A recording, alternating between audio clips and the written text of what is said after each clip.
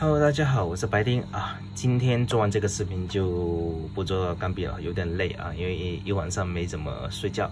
好，那今天这支呢也是一样，观众反馈的。那做完这三个视频等会上传了，那我就对，呃，睡觉去。好，好，那这一支的话，反正就是一开始看到去查的时候发现非常贵，为什么？因为它平常它是属于那种就是说类似专柜那一类的价格，因为我认为它的价格可更便宜一半左右，因为专柜本身也是比较贵嘛。那这个 SKB 那盒子来讲很正常，没有什么特别的过过度包装，还是一样值得批评。好，那笔的话，首先就这样子一支笔，那笔盒的话，对，没呃说明书好像是这么一张，呃对，就这么一张说明书，那没什么特别。呃，另外一个吸墨器，那吸墨器可以去对，呃，对，呃，我拿一下我的那个施耐德的吸墨吸呃吸墨器吧，还是应该台湾笔的话，因为我印象中都是欧标为主啊，那我拿一个施耐德的吧，免得再开一个吸墨器了。好，那现在先这支笔先讲一讲，这支笔首先这个哇分量感非常足重，这真的是第一两个字一个字重。好，那还是一样，我们把这个笔来对比一下这个大小先。那大小来讲的话，呃，对，因为这一支是那 SKB 的笔了。这位观众不讲，我还真不知道有这么的一支笔，反正挺意外的啊！非常感谢你给我推荐啊，还是买回来。那首先这么去看它的一个表面处理，非常的特别。笔来讲的话，算是偏短，那但是。呃，细倒没有很细，因为从这里的话，我们看到它从这个中间这个笔腰腰身中间到笔尾部分过渡还是比较大的这个直径，然后再下来，先让我把笔给放回去，还是一样。放回去的时候，那这支笔呢，您看到它本身的跟英雄那个，或者我拿这支吧。呃，跟我这只啊，百乐的 MYU 来对比一下，百乐 MYU 它是仿一个黄光的，那英雄的这只你们能看一下，仿一个你看白光的。那英雄一百的，我认为就是说它这个金属做的是最好看，因为你看这个，如果它这个换成白光的，是不是漂亮很多？我不懂为什么是百乐会这样子做一个黄光呢？因为这个估计是加了一点铜吧，所以才会一点黄，有一点点黄吧。呃，我不知道材料的他们那个成分比是怎么样的，那这点我觉得值得需要提的。那再把 SKB 这支一放，那也觉得哇，这个有点黄，但是又偏黑这样子的一个质感。那笔来讲的话，暂时我拿过手上的笔来讲，它算是一根偏重的笔。笔的话，呃，真的是偏贵，好像是五百多块钱吧，淘宝上面买的，但是。呃，你这个就它是一家超市还是什么那样子一家店，就不是钢笔店。如果正常钢笔店不会有这样子一个价格，那算是一支非常非常非常冷门的一支笔。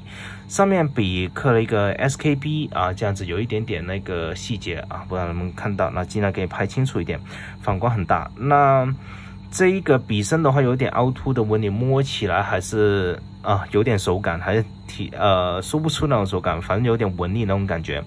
笔尖来讲非常硬了，基本上已经拔不起来了。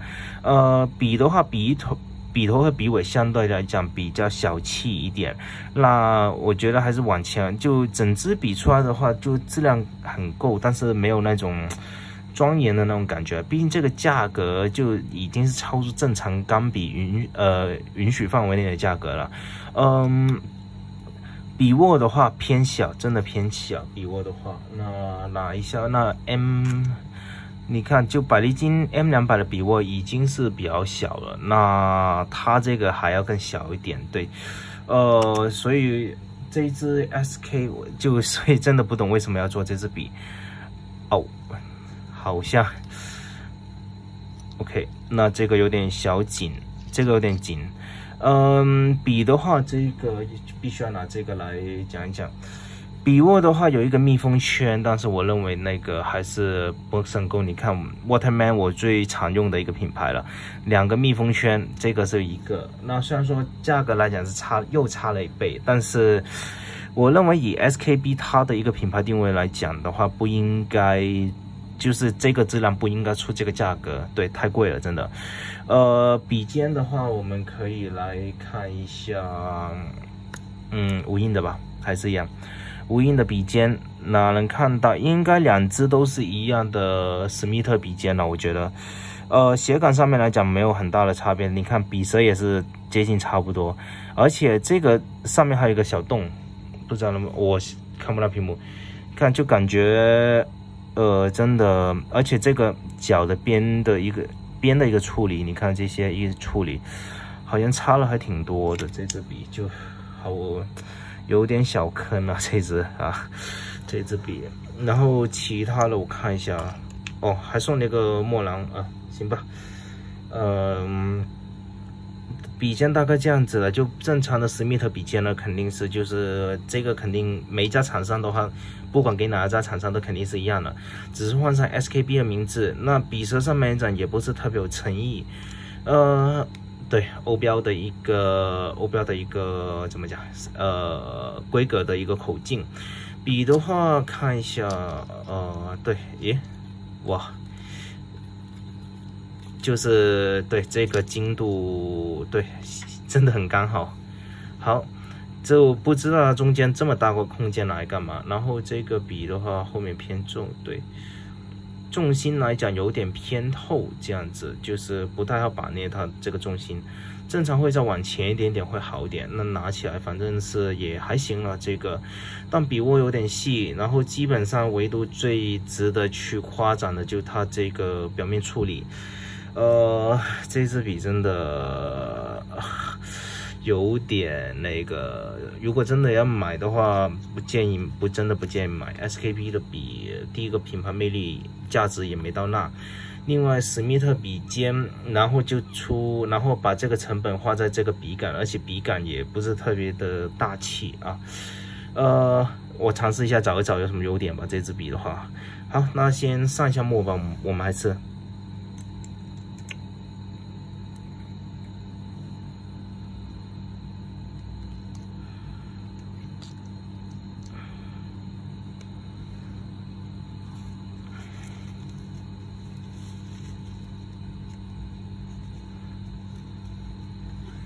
好，那上完墨以后发现一个问题了。刚刚上的时候这个 太滑了，然后我没不太好旋这个笔握，那所以这支笔啊又发现一个缺点了。这个好，那还是一样，我们先试写一下。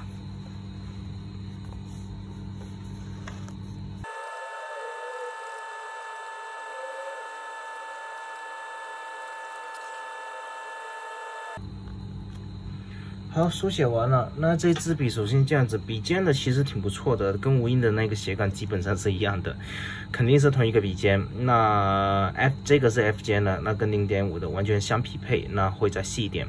出墨来讲的话，会比那个中那个原子笔的还要再节制一点。但是，呃，这支笔首先归类一下它所有的问题吧。首先第一个一体化的一个形体，那很好看，但是一点都不实用。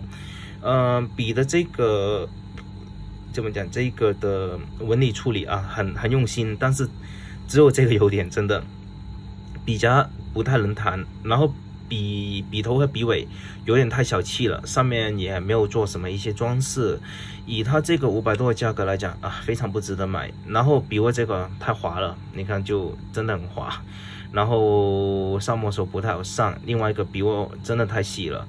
呃，架是能架得住啊，但是写的时候比较容易打滑，而且书写感觉来讲，它笔本身偏重，不太适合长期书写。那对，总体就这样子吧。那笔的话啊，这个声音也不是特别带感。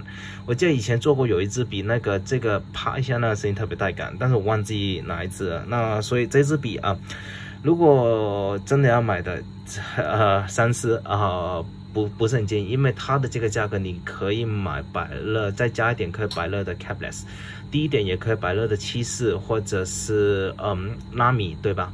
拉米还能帮你矫正那个书写的手势等等的，对。好，那大概这样子，呃，非常感，还是很感谢这位观众了啊，对。好，就到这里啊，谢谢大家，麻有什么的麻烦帮我补充一下，拜拜。